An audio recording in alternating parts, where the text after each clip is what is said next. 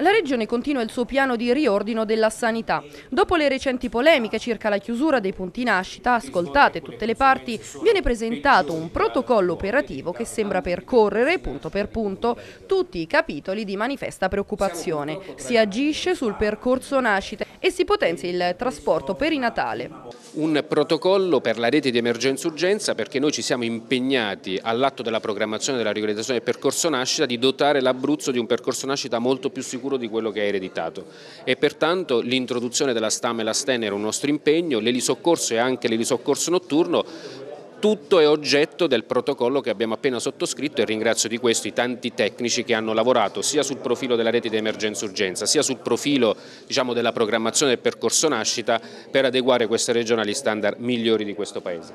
Necessità di garantire più sicurezza e prontezza di intervento e così viene annunciato un investimento di 10 milioni di euro per implementare numero e qualità dei mezzi di soccorso. Abbiamo 43 postazioni di 118 di cui 16 obsolete, vorremmo raggiungere le 60 postazioni e abbiamo messo in bilancio 10 milioni di euro per le nuove postazioni di 118 e per il rinnovo di quelle obsolete. Monitoraggio costante della mamma e del bambino soprattutto per i trasporti di lunga distanza e una chiara definizione delle le responsabilità nella rete emergenza-urgenza. Io ritengo che investire sulla rete di emergenza-urgenza e successivamente sui tempi d'attesa sia uno dei due pilastri sui quali ci giochiamo il consenso delle persone.